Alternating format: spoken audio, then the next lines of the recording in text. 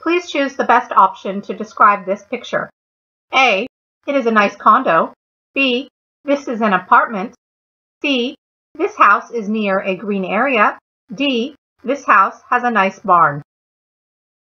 What can't we assume from this photo? A. This picture was taken at a safari park. B. All giraffes are 5 feet taller than cars. C. You should stop when you see a giraffe on the road. D. A giraffe might have escaped from the zoo.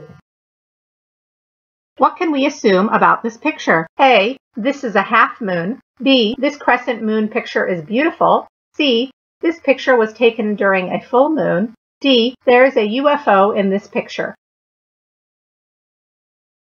Which option can we not assume? A. This narrow street is beautiful. B. This windy street is famous. C. People need to clean the street. D. This is a dirty street.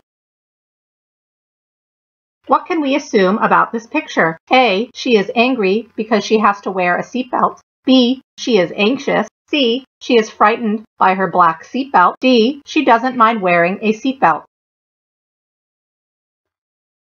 Which option can we not assume? A. Some pumpkins look spooky on Halloween. B. Children can be afraid of pumpkins. C. Some people spend a lot of time and money on pumpkin carving. D. Pumpkin carving is not common during the Halloween season.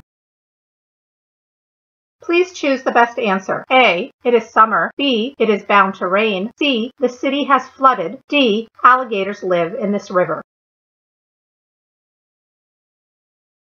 Please choose the best answer. A. She is at a flea market. B. She is working. C. She is grocery shopping. D. She is shopping for clothes. What can we assume about this picture? A. This sandcastle picture was taken in 2016. B. There is an Olympic game at this beach. C. Making sandcastles at the beach is common. D. One person made the sandcastle. What can we assume about this picture? A. The weather is cold. B. It is late. People are leaving the beach. C. This is a long beach. D. There isn't a city near this beach.